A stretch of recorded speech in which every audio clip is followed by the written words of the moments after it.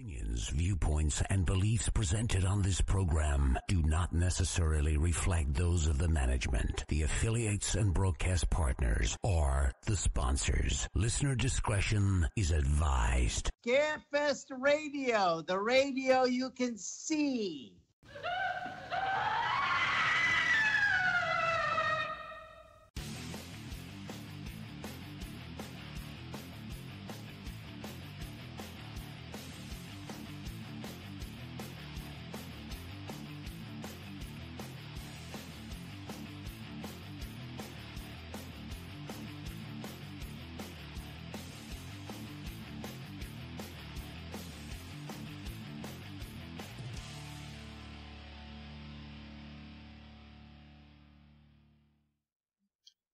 And hello and good evening, everyone, and welcome to Scarefest TV, the original broadcast date, July 28th, 2023. Scarefest 15 is like two, three weeks away, something like that. I don't know. I, it's just, it's scary every time somebody posts about it. Um, tonight, my co-host is the lovely and talented Katie Followell. Welcome back to the show, Katie. This is like Hello. bang bang for you. You were just here like I know. I'm Two- excited. Two or three days ago. And our guest tonight is, of course, Melanie Kinnaman. And um, first of all, I, I'm excited for this for no other reason. I can tell you were excited to do it, and that just tickles me shitless. What can I tell you? It doesn't take a lot to thrill me, I guess. well, I can. You were enthusiastic. You were enthusiastic about coming on the show. You shared it. What I'm saying is, you shared it, and that's you know, hmm a little promotion is good for it. Everybody, of course, Melanie. Uh, um, Friday Thirteenth, Part Five, the the one that kind of, I guess when that was out, that kind of tripped everybody up because they're figuring out how Jason. I know spoilers because somebody may not have seen it yet, but who knows? Um, now everybody, of course, now we were and we'll, we'll be covering it during the show. Um, incidentally, yes, half hour part uh mark. I do have two more names to drop, celeb- celebrity guest to drop. Um, and oh boy, and everybody wants me to do karaoke. Uh, Jake Godbold just posted in the chat room. I have no idea. The um, now I, I'm just going to go ahead and just uh, break the ice here by have, asking you a terribly, terribly inappropriate question. And the reason I'm going to do it is I ask, I'm going to go and get it out of the way. I asked the same question roughly to Deborah Voorhees, but I waited a while. But I've just decided to just go ahead and just knock it out of the park here. When Okay. you did, when you did Friday 13th Part 5, did I remember that time period? Not a there. The only woman in that movie that wore a bra was the nurse in the last scene. The old woman sitting by the bed. Was that a wardrobe? Um, were you all just that cool, or was that like a wardrobe? Um, they when you walked in, they pointed at you and said it. I did. I gotta know. I wore, when you first see me at the halfway house, the Pine. Okay. You see me, I'm dressed very conservatively. Yes. and yes. I, absolutely. And I have everything you're supposed to have as a girl. And uh, underwear wise, I don't mean equipment. And so I get there with my clipboard and I do my thing.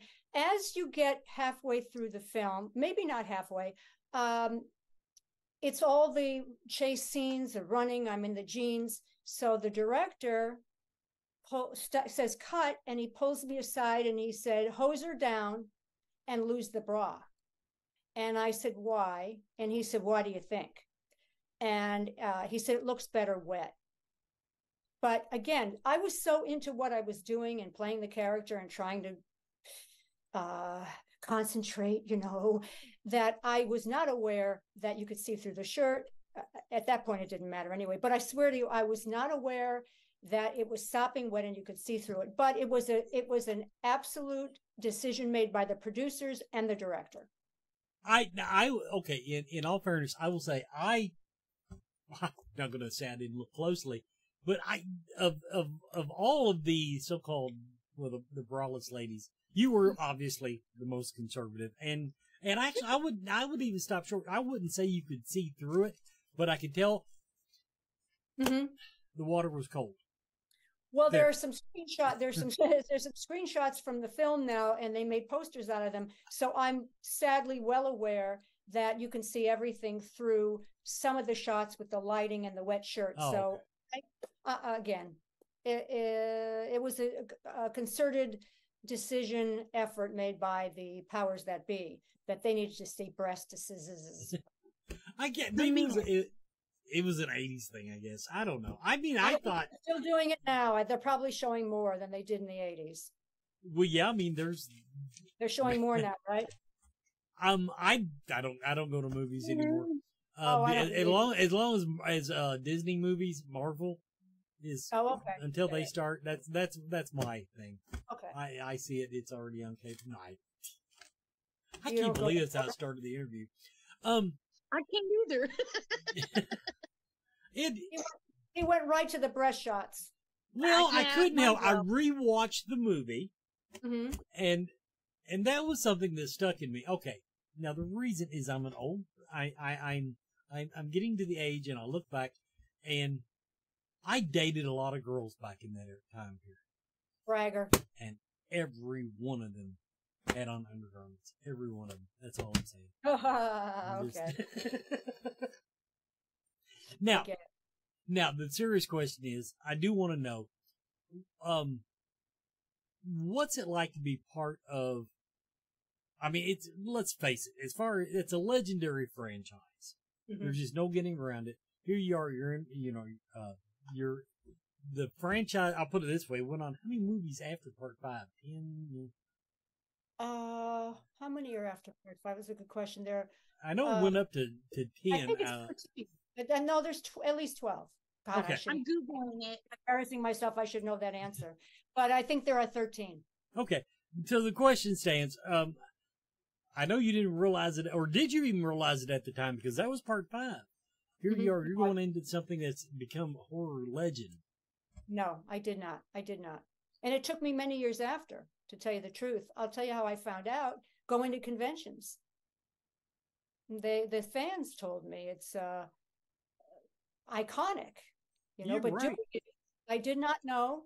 I didn't know soon after, but I didn't start doing conventions until 2011, I think. I was late to the game because uh, for a lot of reasons. But anyway, um, that's when I found out.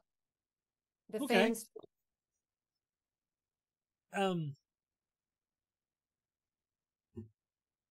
Now, okay, now I guess now as far as movie genres, what is your favorite movie genre? I've already established I'm a superhero guy. I love I love the Avengers. So I mean, uh, what if you had to go to the movies next week? What would you like to watch?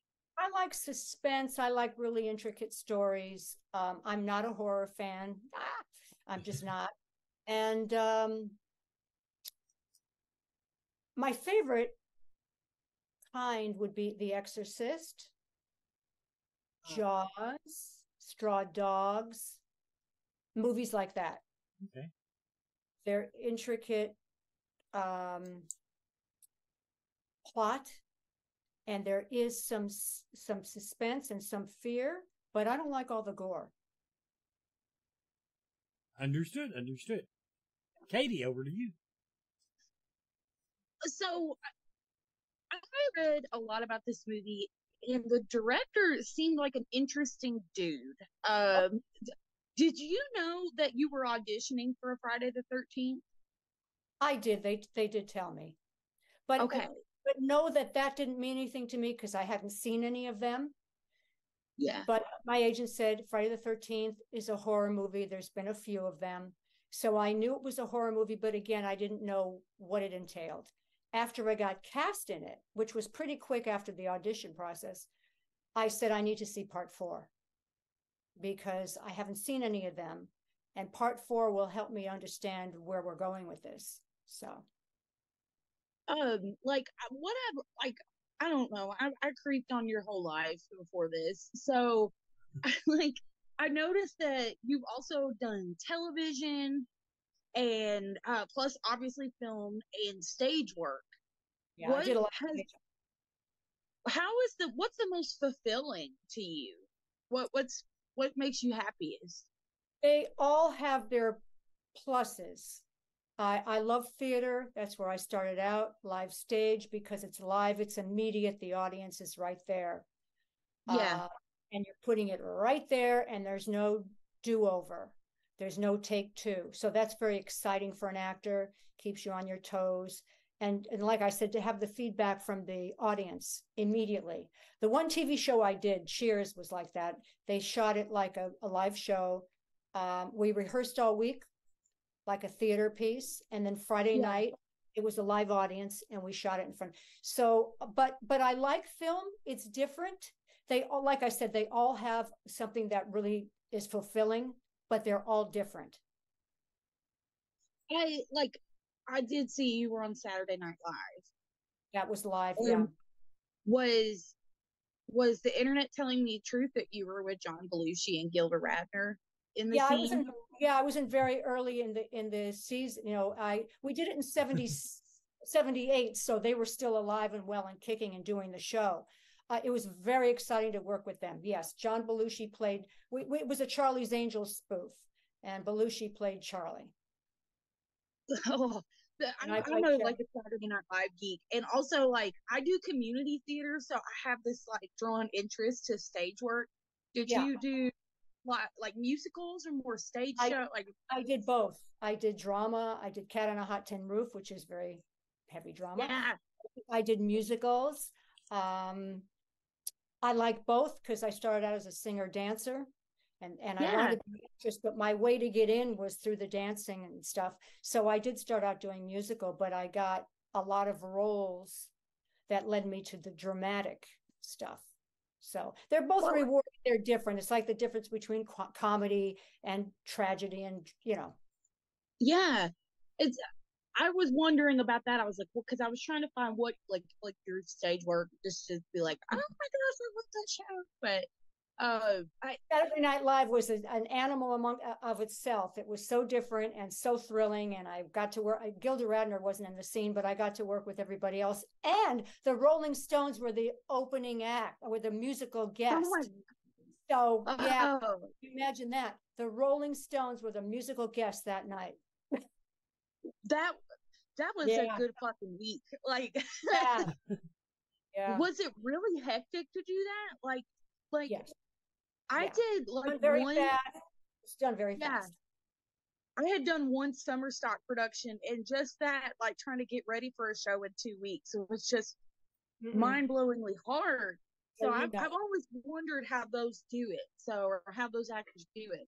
Yeah. So you know. Uh, a little, a little smidgen, but um, how did you feel like your theater background helped you prepare for Friday the Thirteenth? Like, did you like? I feel like you researched character a lot. Yes, absolutely. It was a great training. I think every actor should start on the stage. So you're doing that. It's very smart. It trains you for everything. Um, it really helped me with Friday the 13th because you develop the character before you ever set foot on the set. So if you have all the backstory and you develop that, once you're on the set and you're working with the other actors and they're shooting, you have more time to develop and change things about that character. For me, Pam Roberts, and that's one great thing about film is that you can uh, you're, you're you're shooting for a while. In my case, it was two months, so I lived Yeah. with her for two months. Yeah, it's like I was reading. You had talked a lot about like they said like, oh, you're blonde and you can run, and you were like, well, I've, I've got that advantage. Mhm. I, it was very interesting to read the background of that. Like I, I loved it. Uh, what were some really character. Yeah, they weren't that interested in character development. Uh, that's for sure. They were interested in, I guess, blonde and and and physically fit that I could run and do the action stuff, and that I was willing, uh, like Wes said, to take my bra off. So, but as we got into it, the character developed, and I was able to bring something to it. You know. that's why I love badasses, badass bitches in horror movies because like they they're they're more than like the stereotype, and I, I just am obsessed with it. Mm-hmm. Wes, we're at a quarter of the hour. Do you need to interrupt us, or can I keep talking? No, I need to interrupt you, but that's good. Okay, you finally thought so. watched your clock. Good You guys job. are I did. I've done Everybody. this a few times now. we will be right back after this commercial break. Horror, movie, fans, for life. On Facebook, find us. For watch parties. For news. For memes. For friends. For life. Horror movie fans for life. Join us.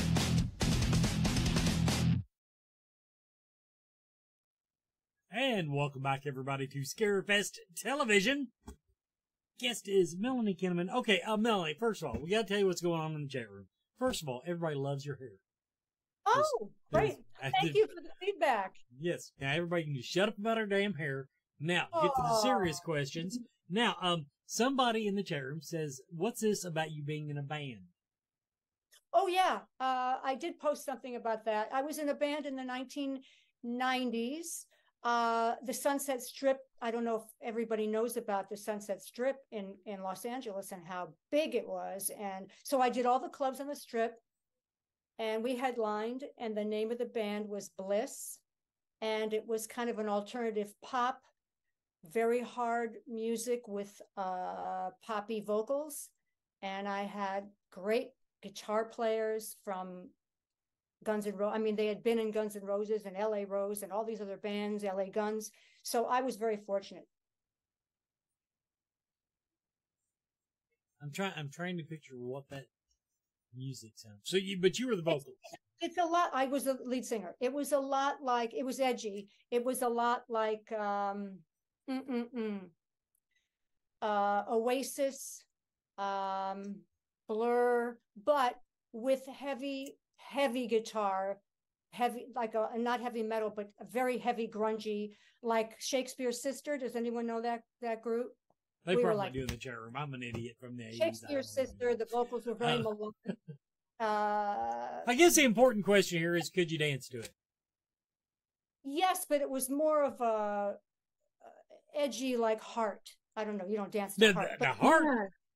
No, in my day we danced to heart. Thank you very much. Oh, did you? Well, Yes. Okay. Well, yeah, I could see that. Yeah. I, I was reading about that too, and I was like, damn, she can do it all. She's a something. triple threat. Yeah, had Um, we been successful, we did get a development deal with uh with uh Polygram Records, and it was just timing. It was the music wasn't what they wanted at that time. They were switching it to uh more of a garage band thing. So had it been successful, you would have known about it.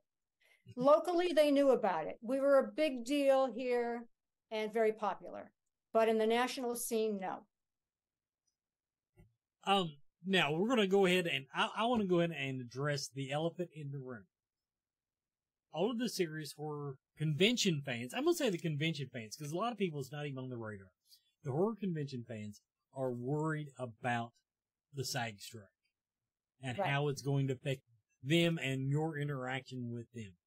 Um, well, go ahead. uh, well, I just let's talk about what we talked about before the show. Let's uh your position on it. I've already here everybody. I'm going to start by saying I support what they're after. Mhm. And Yeah. then Melanie came in and kind of filled me in on the direction that is it's taken, and that's where I was hoping it. W- Yeah. I thought it should stay away from, but now take it from there, Melanie. I agree. It, we're, we're fighting for uh, major issues, very serious. AI, residuals, getting paid a fair wage. The wage has not gone up in 30 years. uh, people can't afford their insurance, their homes, their, you know, and all the money's going to producers. So we just want our fair share, especially with streaming. We're not getting that. Mm-hmm. That being said, and people can look that up. I don't want to bore you with all the details. That being said, I think that Screen Actors Guild, AFTRA, should not be involved in the convention scene. And I'll tell you why. They are giving waivers to film and television mm-hmm. productions. And they're working right now. They're giving them waivers because they're ind- independent. Okay. And they're allowed to work. I think fair is fair, and no one should be allowed to work. Don't cross the picket line. Now, I understand they've given these waivers and their reasons for it. If you're going to do that, then stay out of the conventions because there's nothing more independent than that. And we're not striking against that. So, also during the strike, the actor cannot work. We need to go to the conventions. We need to um, interact with the fans. And if fans are interested in an autograph, we need to do all of that. Um, so my my standing on that is that when I come to the shows, I will be bringing pictures. I will be signing anything you want. It's stuff you bring, things that I have on my table. I will be answering any of your questions about anything I've done, except for the new project I did, which is a major studio project. And I've been told I cannot speak about it because it's still happening. So I abide by that.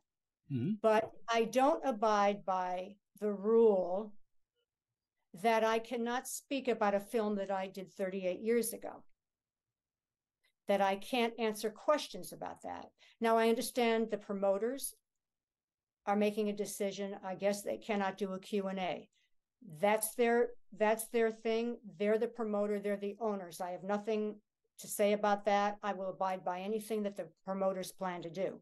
But I don't want the fans concerned that when they come to my table to meet me, that they can't talk to me. They can't ask me questions about Pam Roberts or Friday the 13th or anything I've done, best of the best, anything that is in the past. You can't talk to me about the present new project I've done, which most people don't even know because it's not out yet.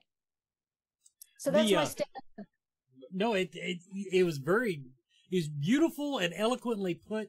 When this first started, um, you know, we talked we talked to some actors and they were like, well, no, you know, yeah, we understand we can't talk about the, the current stuff, but mm-hmm. there's no way because, as I pointed out, um, there's nothing that you're going to do at our convention or any other convention that's going to make Paramount or whoever money. They, well, you know, the union thinks that we will by talking about. I don't know what the logic is, but the union thinks because Friday the 13th is a Paramount. Mine was a Paramount, and some of the others. And then some of the other things I did were major studio. They think somehow something's going to come from it for them. That's not true. You're really only benefiting the actors, to tell you the truth. And we're unemployed because of the strike, except for the lucky ones that got that waiver. That waiver.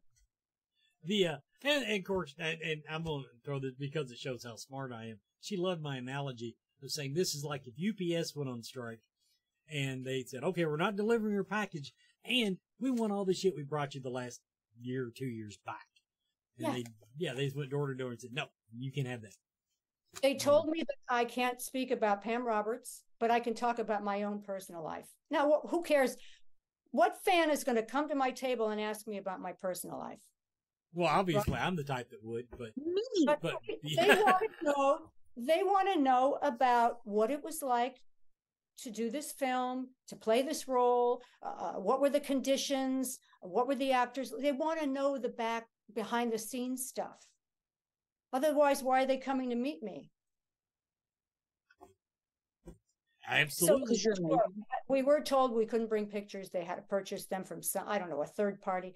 Rest assured, I am bringing my own stuff that will be at my table. Obviously, you are all free to bring your own things and I will sign them. That's it. I'm probably going to get in trouble. I don't know. But um, I, I will abide by anything the promoters want to do because they're the boss. And I'm sorry if they decide to not do a Q&A. Now, Because for I- the record, right now, uh, and this is something that the fans need to hear too. We have made no changes Oh, in, in and we actually might have a loophole because most of our celebrities were signed to do our con, our con before you went Before on the strike. strike.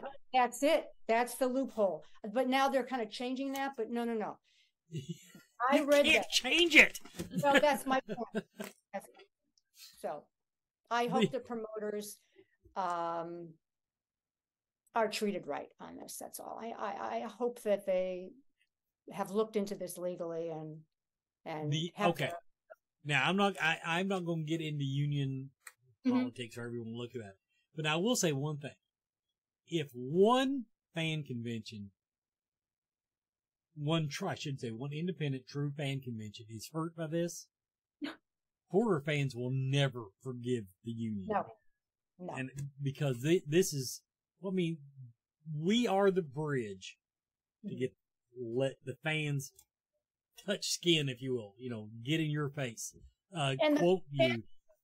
Yeah, and the fans are the ones that are going to the movies and making everybody rich, except the actors. But you know what I mean. The, the top the top actors are rich, but they're making the producers wealthy. They're they're they're making the studios profit, and so they should not be stepping on the toes of the fans. That's my personal opinion. And you are stepping on their toes when you're telling them that in their own backyard they can't go and meet one of their favorite actors or actresses.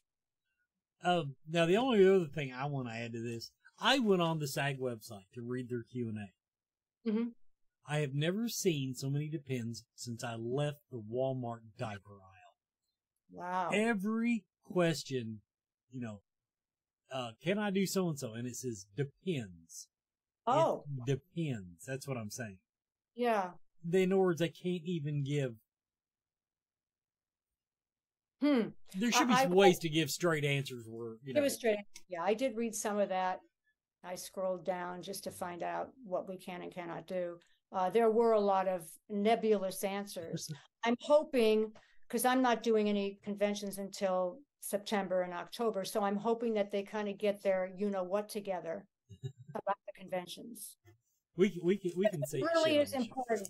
It really is important uh, to to the fans mostly, but also to the actors who are coming there. What about all the people that bought tickets already for this, and now they're told they can't ask you a question about something you did 150 years ago? That and and you alluded to it before. The okay, now some of our guest list are you know working Huge. actors. Yeah. Okay, they're yeah they're you know they're they're Yeah. working actors. They they're they've got a paycheck waiting on them. Mhm. A And they're still doing the conventions, though, aren't they? oh yes, absolutely. Yeah. But uh, we a lot of our con- Scarefest is built around 80s and 90s horror. Mm-hmm. Okay, some of those actors, this is how they make their living now. They Mm. do these cons. They do, you know, they're Do a lot. they're- yeah, they they do this, and I, I mean, I hate to just, come out and say they need the money, but I mean, No, they that's true. this There is are what they some do. that do every week. There are some I see out every week or every two weeks or at least bi-monthly. And yeah, that's right. You're right. I never thought of that. That's that's their paycheck. and uh and so yeah and even even if okay even the ones that only do uh independence it's Mhm. it's it's like poor Felissa Rose must be all over the map right now because Mhm. she does a, her a ton of movies Mhm. and I couldn't even tell you which ones are studio movies or, and are not I think a Um, lot of them are. Yeah.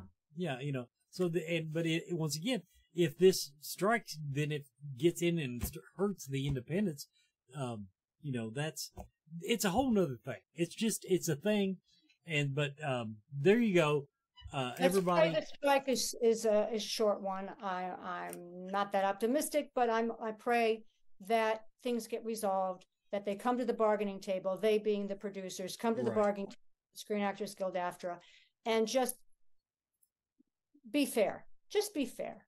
And then we can all go back to work. that's that's what we're all hoping for but Mhm. everybody we wanted that's one thing we try to be as transparent as we can at the Scarefest. So you, we wanted everybody to know, um, what, what, I mean, what we know. And, um, Mhm. now I could go in and answer every time somebody posts about it online. And, but even then, I was doing that, and then I had an actor come up and say, "No, that's not right," even though I've just quoted Really? other actors. So you know, Yeah. it is. It's it that that's kind of the way it works. But So the fans are concerned, right? The fans are concerned. They are. They the the the heavy duty fans are. Okay, Yeah, the heavy duty fans are concerned because they come for the Q and A's. right. See, You know, Joe. Yeah. You know, Joe Blow in in Falmouth, Kentucky, that might want to come and get your autograph because they remember going to the drive-in and seeing that movie. Mhm. They don't care about all the rest of this stuff. They just want to meet you, and and they. That's one thing we have more, and we saw it a lot last year. We're seeing it this year. Fans that have never been to a convention. wow, Yeah, we get we're getting a lot of a It's lot exciting. of that. that's So- exciting. All right, we're going to take a little break now, everybody. We're going to do our uh, half hour um, or 30 minute mark uh, announcements and our plugs. First, we're going to tell you about one of our sponsoring vendors, JP Horror Collection. JP's Horror Collection. You'll find great prices, fast shipping, excellent customer service. Check out all their horror collectibles and home decor. And don't forget to take a look at their sales section when you get to their website. jpshorror.com, jpshorror.com. Check them out. And they have their, they've got their selection sorted by movie. You can go and look at home decor. They got a whole section on skulls. Where, can you go wrong with a whole section on skulls? So check out their website, jps, jpshorror.com, and a supporter of the Scarefest. Announcements for tonight. First off, Christine Romero. Christine Romero, who you might remember from a little show called Creepshow. Also was in Monkey Shines Dawn of the Dead. But, and uh, believe she was married one time to George Romero, so she's got that going for her. But, Creepshow. Christine Romero is booked for this year. Next up, I'm going to give you another Creepshow star. Daryl Ferrucci. Daryl Ferrucci is coming to Scarefest Creepshow. Chud. Okay, I'm trying to remember without looking it up what Chud stood for. Um, somebody in the chat room will do it. Uh, underground dwellers. Something underground dwellers. Human underground. C. I forget the C. Somebody in the chat room will tell me. Anyway, the burning, I'm gonna Google prowler. it. Yeah, I'm not going to Google it. But, Chud. Anyway, Creepshow. That's what he's coming for. We're having a little Creepshow reunion. Daryl. Cannibalistic human, What is it? cannibalistic humanoid underground dwellers. There, I knew everything, but I ah. forgot cannibalistic. I forgot cannibalistic. Now, on with our announcements. Central Kentucky Mystical Market, Lexington's premier monthly psychic and holistic event going on this weekend, July 29th, 30th, Saturday and Sunday, Clarion Hotel on Newtown Pike in the Paddock Ballroom. Check them out, 1950 Newtown Pike. Right as you get off the interstate, Scarefest Horror Film Festival is still taking submissions. You got one month. If you've got an independent film and you want to get it in a film festival, we are still in the judging process. We are taking them till the end of the month. Scarefest Horror Film Festival. So if you need get your film in a film festival, this is your last chance with us. Then, yes, the Sleepaway Camp cosplay that I will be doing, I am 22% towards the goal that I would need. And that you can, you can sign up on this for as low as $1. $1 to read my recovery blog. It's all about me getting over the recent heart attack that I had. So I just wanted to, uh, uh, uh, remind you all of that. You can find that at scarefestradio.com or on my Facebook page. Look me up West Forsyth. Now, that's at 100 people. If I get 150 people, I will do that cosplay with a tramp stamp. A temporary tramp stamp, but a tramp stamp nonetheless. So, there you go. Patreon.com slash scarefestradio. If you want to do it that way, patreon.com slash scarefestradio. Or, like I said, look me up on Facebook or go to the website. And finally, once again, 50 push-ups a day during August. I don't like children. I hate doing push-ups, but I am doing 50 push-ups a day. I've accepted the challenge for St. Jude Children's Hospital. Look on the website or on my Facebook page, there's links to uh, make a donation. And you're not donating to me. All I get out of it is a T-shirt and pecs. That is all I'm getting. I, got a T-shirt and pecs. But 50 uh, push-ups a day. St. Jude does a lot of work. The kids do and their families do not pay for this. St. Jude's Re- uh, St. Jude Children's Research Hospital support them, and you get to um listen to me bitch and moan for 30 days or 31 days about doing push-ups because I'll be doing them five at a time because I'm a big puss. Okay, back to the show. Good for you on the push-ups. We'll see how that goes. I Well, I My money's on you. I can do. I'll do if I do two an hour and to stay up all day. I'll do it. But you know, You'll do I- than that.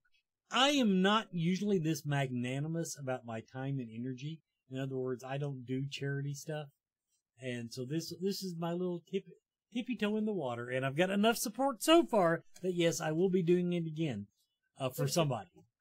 So, and this is all about me having a heart attack and saying, "Fuck it." Hmm. I'm a, I'm going to I'm going to get not only get better, but be a I'm going to be a douche about it. I'm going to, in words, I'm going to rub everybody's noses in. Well, congratulations on the recovery. Good for you. You Well- look great.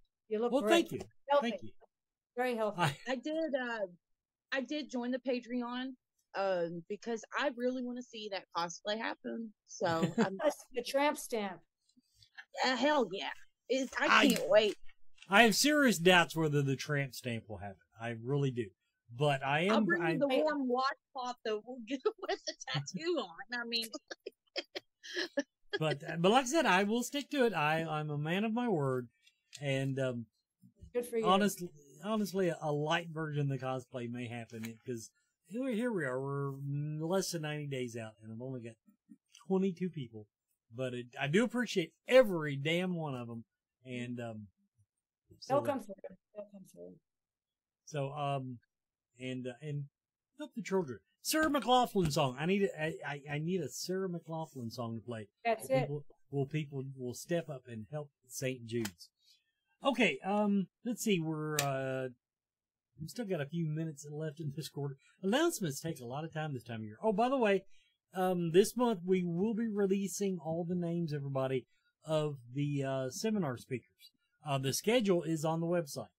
So, if you're wanting to know who will be speaking and when they will be speaking, they are, that is posted on the website. Um, yeah, I put it in the menu. I, I remember doing the page. I did put it in the menu. Um, okay, let's go by, um, now, the worst thing, and Melanie's gonna hate me. The worst thing about researching you, Melanie, everything you've been in, none of it's streaming free. It's all, No. or, or I should, shouldn't say, it's not included in any of my stuff. So, um, uh, I, I, I was good. And I almost dug through my VCR tapes because I think I had Best of the Best on videotape. But I did, I did not go ahead, and I still own VCR. Um, Best of the Best. What was your part in Best of the Best? I play Eric Roberts' girlfriend, but don't don't watch. Don't spend the time watching it because I was cut. All my scenes were cut. So it's very funny when people will come to the to the conventions with the poster and have me sign all this stuff. You know, I remind them that I'm dead, that I'm I'm not in it. I, I'm in the c- credits, so you see Right. that I'm in it, which is why I still get residuals and I'm on, you know, uh, on the uh, the uh, IMDb. But yeah, they decided to cut any love interest in this movie because they wanted to just have room for all the fight scenes. I kind of understand that because it's a karate movie, but on the other hand, uh, he's a human being and he does have a personal life. They didn't put any importance in that. Um, and it was an audition. I mean, the process, this is going to kill you. Uh, It was a month and a half. I think I did 15 callbacks for this role. I mean, guys, really, if you're going to go to that effort, at least leave one scene in the damn. Yeah. I practically gave blood in those auditions. I'm on the set working my ass off, and you know, at least keep a still of me, something. That, No. that- okay. Maybe Now that you've ex- background or something. And like- people wouldn't believe, I'm telling you, no one would believe I was in it if I wasn't in the credits. you're probably okay. You're probably right. And the now I'm glad you explained that so eloquently because I was actually that was going to be my kind of my follow up. I read one of the things and it said you were Eric Roberts' girlfriend in the movie. On IMDb, your character is called the woman. The woman. The woman. And add insult to injury, they didn't tell me. I went to the big cast and crew screening, big party. No one told me. I'm there with my agent. We're sitting there watching this thing. He goes, Well, where's the scene? I said, No, it's coming up. It's coming up. Nothing. I said, Oh, there's another one. Wait, wait, wait. Nothing.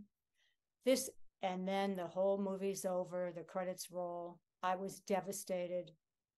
Um, I can't tell you how terrible it was to, to find out that way. At least, guys, clue me in. Pho- call, call me on the phone and say, by the way, you're not in the movie.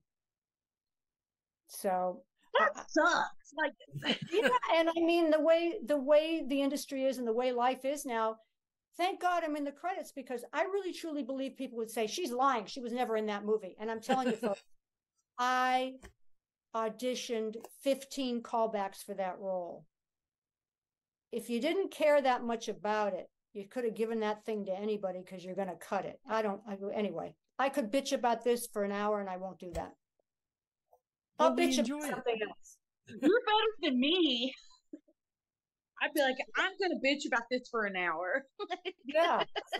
The funny thing is when people come with the with the big poster from Best of the Best and they have me sign it.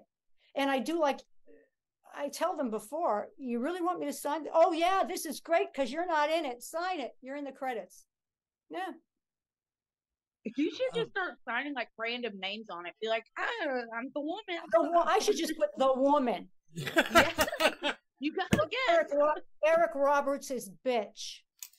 Yes. Yeah. Ah. Anyway, that's I- the I- story on that. Oh my gosh. I, like, Oh, I got that stories. common? Yes. a million stories. Sometime we'll talk about Harvey Weinstein. The next time I'm on the show, we could do an hour about that. Oh, okay. that guy. I'll just do Yeah. that. Because I'm still I'm waiting. gonna, for if, if, if you're wanting way to tell those stories out. after after what I've put you through, I, I hey, that sounds great to me. Yeah, it's a sad story, but uh, you know. Um, um, um. Okay, back to what the, all, all the fans. Now the fans. Okay, first of all, you all are really sad tonight. All these interactions and all you all are talking about is her damned hair. Quit tell- Oh, Quit telling me how look at it, beautiful could she be is. worse. It could be worse. They could be saying, "God, she's boring. What an old bag." no, no, no, no, no, no, No. no. Are you know horror fans better than that? When, okay, how now? You said you didn't start even start doing conventions still. How, what? How long ago? I started in uh, 2011. My very Okay. first was Monster Mania. Yeah, Now, they had been asking me for years, but I didn't want to do them. I'm because I have asked this before people. Okay, now you were not a horror fan per se, Right. uh, so I'm sure you did not frequent horror conventions, let alone be a guest. How long did it take for you to get used to horror fans? In that, I have seen them walk up to tables and ask, "Why did you turn left?" It's and have the lines memorized better than you did. They do. it's fascinating. It's kind of nice to have people be that loyal to a film and to the character that you played. You know, you have no idea when you're doing it. All I wanted was hopefully to portray a character that you would somewhat like, have empathy for, and hope that she doesn't get killed. That was my goal. But I meet fans and it it had such an impact on their life. Some people were bullied as you know teenagers and they said that my character kind of gave them um strength who knew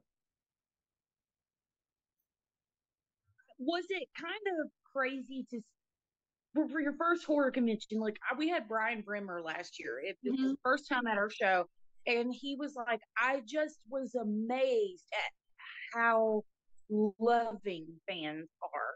Mm-hmm. Did you have that same kind of experience of just like, "Holy shit, this is awesome. Like, because Friday Part Five was controversial, which I did not know when I was doing it, but the aftermath, the year or two after all the hatred that came, and then the hatred towards me. So when I went to the convention, I was expecting maybe some onslaught of hatred. I got mostly love, great love. I was so appreciative to the fans, but there is still some of that animosity like it was my fault that Jason wasn't in it. Listen, people, it's just a movie. I was mm-hmm. playing a character. I had nothing to do with Roy. I mean, to me, he was Jason. So uh, lighten up about Jason and Roy. Yeah. as we say at Scarefest, we do a whole lot of calm the fuck down. So, like, calm the fuck down about Jason. I mean, like, yeah, yeah. yeah. Okay, everybody, we're going to do our Yeah, the, 45. love, the love has been intense coming towards me, though. I will say that, and I and I'm very grateful. Let's do our 45 minute commercial break and get our Bonehead Weekly spotted. Then I see some questions finally popping up in the chat room, and we will we will uh, get to that. Spirit Mechanics, 1018 East New Circle Road. I don't even have my commercial notes ready. I'm just going to tell you, these guys are great. They have a brick and mortar store now. Uh, all kinds of metaphysical stuff. Check them out online, spiritmechanics.com. Buy a deck of tarot cards. Go in for um, Steve's uh, uh. He does he does healing with sound. It sounds hokum. It sounds like hokum. But I'm telling you, I've tried it and it really does work. If you got chronic pain, in my case, it was after Scarefest last year, and my legs and hips thought I thought I was going to die. I couldn't hardly walk across the parking lot to where he was working, but I was very glad I did. 1018 East New Circle Road. Check them out, or just go online, spiritmechanics.com, find out more about my boys. Okay, we're going to go to Bonehead Weekly now. Hey, Scarefest fans, this is Joe Lewis, and if you're freaking out because I'm in blue, so am I. It just happened. It's just weight loss and trying to find shirts. So tonight, I want to revisit a couple of movies get just, to me, are a little unfairly crapped upon. And because we have our guest, Miss Kinnaman, one of my favorite, favorite, favorite Final Girls, and we'll hopefully be interviewing her this fall on a great Final Girl panel, what I really want to talk about is just the hate that Friday the 13th Part 5 gets sometimes. I actually like the idea that they tried to change it up and it was somebody parading around as Jason and it isn't necessarily, oh, spoiler alert if you haven't seen it. Ooh. But it isn't necessarily just him and it isn't as supernatural. I like that they changed it up a little bit. That's good. That's not a bad thing. They were five deep into the series at that time. Five deep. So it's okay. You had a really good actress as your final girl. There's another one that can we just stop crapping? And I know, I know, Friday the 13th is not my favorite franchise, and I've gotten a lot of heat over it a lot of years because I've been very critical of the movies. I'm sure a lot of people who've starred in the movies would be very critical in the movies, but I know a lot of you love them more than life itself, better than air. I don't know why sometimes, but let's stop crapping on my good buddy Todd Farmer's Jason 10 if we want to leave Friday the 13th part 5 alone, because listen, there's some turkeys throughout this series. There just is. Then the fact, well, technically they shot the leprechaun into space before they did Jason. Let's leave that alone. The original intent, and because Todd Farmer has been interviewed by me a couple of times, has not made the secret, was to make Jason 10 into aliens. It was Jason as aliens in space. And it makes sense if you think about it. And Marines have to go in and take care of it and whatnot it's a fun movie. It, I saw it. I was one of the six people who saw it in theaters. And here is what I should say you should do let it go. Please reach into your inner Elsa or whoever, whichever one their names are in those, um, you know, uh, Disney movies, and let it go. Because there's a lot of great jokes in Jason 10. And I get it. It's uneven because there's blood and then there's horror, but it's a horror comedy it has one of the best topless kill scenes of all time where he's throwing the bag up against it with a cheerleader in it and they're like oh let's smoke weed and we're ta- let's leave jason 10 and friday the 13th part 5 alone. Let's not bother them anymore. Let's walk away. Let's slowly take a breath and go. Every year they were making one of these movies hiring young talent to try to get it done.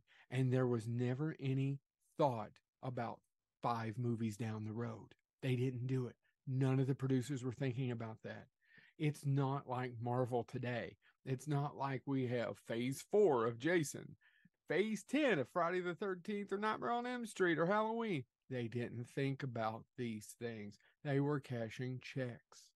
And the fact that we got as good as we did is a testament to some of the wonderful people behind and in front of the cameras because they were trying to cash checks. I assure you. I am going to defend Friday the 13th, part five, for having the cojones to try something different. And the same thing with Jason 10. Put him in space. You put him everywhere else. He was in New York. He went, he got dragged to hell when then Freddy's Glove came and got his face mask.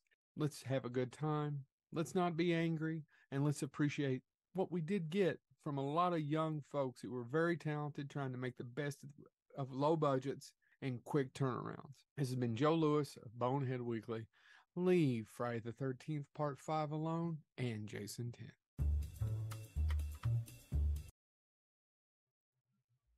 And we're back, everybody. We got just a few minutes left with Melanie Kinnaman, final girl from Friday the 13th, Part 5. I actually did have one that I. Were you signed to do part? Did they come back and ask you to do the next sequel? I know it didn't come to fruition, but wasn't that part of When part I- of the lore?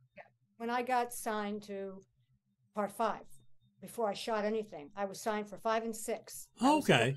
two movies. And part six was going to pick up exactly where part five ended with that last shot of the knife behind Right. we were part six was going to start there when we wrapped uh, part five i had a month off and they said the next month we're going to start shooting six and they were sending me a script while i'm waiting i get a phone call from my agent they had just heard from paramount that john shepard who played tommy Mhm. did not want to do part six because he was signed also he did not want to do any more horror and he was done and of course, I said, "Well, use me anyway." You know, you know, what I want to do it and bring in another killer or whatever you. The plan was the plan was that Tommy was going to be the new killer. Bring in another Tommy. They said no. They have to scrap the whole thing. They have to come up with a whole new script and a new cast. And they brought Jason back. But part six was not going to have Jason back. Hmm. I think it would have been very interesting. I think to try something different, think out of the box would have been very interesting. And to continue five and six, continue the story, no Jason, could have been good. I I okay. Now I'll say it. I still like not nothing against you. I still like to see the final girls get bumped off in the sequel. Right. I don't care who does it. I mean, No, if they just that's just something I like. Now there was a question from the chat room. Um, Okay. they want to know more about what they missed. You had apparently had quite a few cut scenes. Um, Mm-hmm. you said character development. Kind of give them an idea of what didn't make what hit the cutting room floor, as they say. Well, I had a scene. Uh, it's after all of the the chase scenes and all the deaths that I witnessed, and then if you remember that Tommy's in the hospital in the insane asylum, and I go and see him. I have a nervous breakdown, and there are scenes with me in a hospital room having the breakdown. I actually have one picture from that that I bring to my table at, the convention, so I do have the one shot. But that was cut. Um, there were scenes, uh, just conversation development between me and Matt. Uh, that was cut. And then I understand I wasn't there, but some violent horror, some violent killings were cut. That now actually that was um if I had to critique the movie for one thing, too many people died that off screen. If I go to a horror movie, I'm buying that ticket. I want to see him die. I want to see. I want to see the um, red dye number five um, in the Karo syrup. I want to see it hit the floor. Brutal. And I want his death to be creative too. Like Yes, like I make me go, agree. oh shit. I agree. Like- I think we had a couple creative ones in part five. Yeah, there I- there were. I like the one with the, the torch in the mouth. That was kind of good. You know, The- flare. That was good, but now the accompanying scene, the guy in the car that he slit his neck, Oh yeah, sorry, died way too fast. yeah. Do- he died fast. yeah. I, I think the good kill was also uh, John Ro- Robert Dixon. Um, he played Eddie, and he had the strap around the belt around the eyeballs. I think that was a pretty heavy scene. That was very creative. The only thing Yeah. about that is, I, I'm sitting there going, why did he have that strap with him? Why did he have that strap with him? The killer? Uh, Yeah, I don't know. Well, I guess because he was planning. He's a serial killer. He's had all kinds of stuff it him. it looked like a piece of horse equipment. I I, I work in a leather shop. He had ice picks. He, I mean, the guy had everything. Well, and I realized why why he would have a machete, um, but but to me that looked like a piece of horse equipment that you'd find, you know, like harness or something. Okay. And I just and I it just hit me as like, why do you have that? Now, honestly, the the pruning shears through the eyeballs, top Mhm. notch, top notch. Yeah. Yep. So, and and I like the bunk bed kill too. Oh God, that was I mean- gross. Yeah, it was Yeah. it, it was predictable yet well done. Mhm. That's that's where I would leave that. Um, Katie, you got anything else you want to ask? Um, what's it like being a final girl? I didn't Does know it- what that term was. I didn't know, like when we were shooting it and, and after it, I didn't know what Final Girl was again until I went to the conventions. And it's, it, it you, how, how can I explain it? It's, it's not something you expect. And then when you realize what it is, it kind of gives you a, a, um, I'm proud. How about that? I'm proud only because it affected a lot of people's lives in a good way that they had somebody that they looked up to for a, a strength or perseverance. So I'm proud. Yeah. It's amazing. I love Final Girls. Uh, like, I just I wondered if that was like a thing. If if you knew when you started shooting, I'm gonna be the final no. final I knew girl. I knew I didn't die. I knew I was the the last one standing, but I didn't know it was called Final Girl. I didn't know it was an actual thing. And so it's nice to know that I'm in this special sorority, you know? Yeah, Final- it's it's, Final girls. it's kind of badass. I'm just saying. Yeah. Okay. Okay, I'll take the badass. I'll take it. Yeah. now uh now for for the handful of fans we have that uh might come in the chat room and not make it to Scarefest in October. Got any cons coming up between now and then? I have, let me think, September 23rd and 24th in Moline, East Moline, Illinois. And I have a special thing uh, on Friday the 13th, October 13th and 14th. I'm going to have to post, look for my post on, on social media and I'll tell you where it is and what it is because they won't let me tell you now. But it's a fantastic idea. It's a great event on Friday the 13th, October 13th, and it's going to be in uh, the Philadelphia area. That I can say. And it's going to be at a haunted attraction, Ooh. famous haunted attraction. Neat. I'm going to be there with a few cast members of Part Five. And what what what social media do you prefer? I like them all. I, I don't do Yeah. a whole lot of Twitter, but I'm on there. But I like uh, Facebook and Instagram. So there y'all go.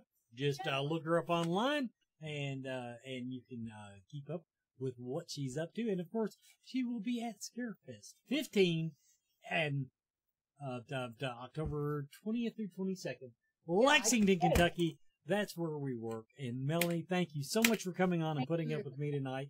And everybody, this has been a lot of fun. Great. Next week we got the the council episode, so Brandon Griffith theoretically will be here if he doesn't take off on us. Be here to answer your questions about stuff that's going on. Oh, and I was supposed to announce tonight. It was announced in the chat room. They didn't send me the graphic. Tickets are on sale for the Magic Show. Magic Show tickets have gone on sale. Uh, Reed Masterson's uh, Magic Show at Scarefest. He's come back again this year. This year it's a ticketed event. So uh, go on the Facebook page and you'll find a link. But it's the same place ticket link is. It's you'll find it. So everybody, this has been Scarefest TV. Thank you very much.